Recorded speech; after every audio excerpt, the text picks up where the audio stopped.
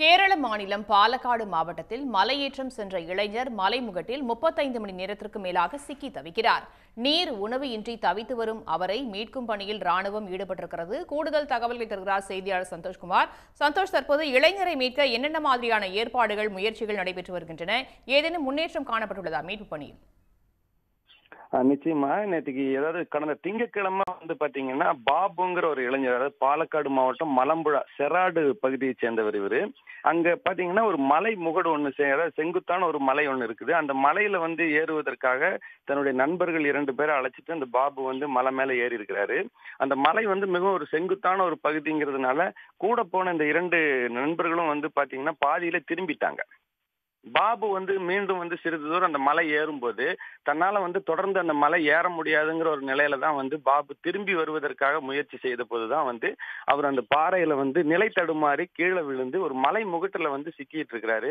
கடந்த திங்கட்கிழமை பிற்பகலுக்கு மேலதான் இந்த மலை ஏற முயற்சியில வந்து அவர் ஈடுபட்டு இருந்தாரு அதன் பிறகு வந்து பாத்தீங்கன்னா அந்த மலை முகட்டுல சிக்கி இருக்கக்கூடிய தகவலை வந்து அவர் தன்னுடைய கையில இருந்த செல்போன் மூலமாக பாலக்காடு மாவட்டத்தில் இருக்கக்கூடிய தீயணைப்பு துறையினருக்கு வந்து தகவல் கொடுக்கிறாரு.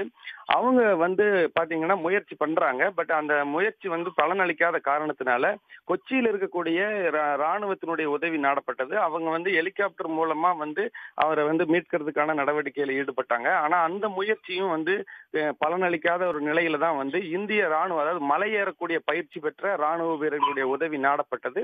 அந்த வகையில தான் உதகையில் இருக்கக்கூடிய வெலிங்டன்ல சேர்ந்த ராணுவ வீரர்களும் அதே போல பெங்களூருல இருக்கக்கூடிய மலையேறும் பயிற்சி பெற்ற ராணுவ வீரர்கள் என இரண்டு குழுக்கள் மக்கள் வந்து நேற்றைக்கு இரவு பதினோரு மணிக்கு பாலக்காடு மாவட்டத்தில் இருக்கக்கூடிய அந்த மலம்புழா பகுதியில் இருக்கக்கூடிய செராடு மலை பகுதிக்கு வந்திருக்கிறாங்க.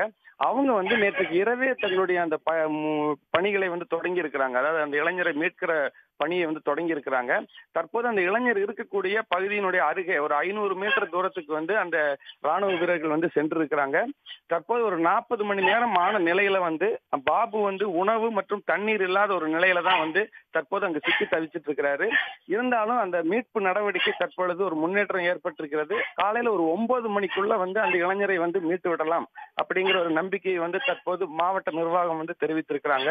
தற்போது ராணுவ வீரர்கள் வந்து அந்த இளைஞருக்கு எப்படியாவது குடிநீரை வந்து கொண்டு சேர்க்கிற ஒரு முயற்சியில தான் இப்ப ஈடுபட்டு இருக்கிறாங்க இந்த முயற்சி பலனளித்து அந்த இளைஞருக்கு வந்து குடிநீர் கொடுக்கப்பட்ட பிறகு அந்த இளைஞரை வந்து மீட்பதற்கான நடவடிக்கையை வந்து ஈடு- ஈடுபட போறாங்க.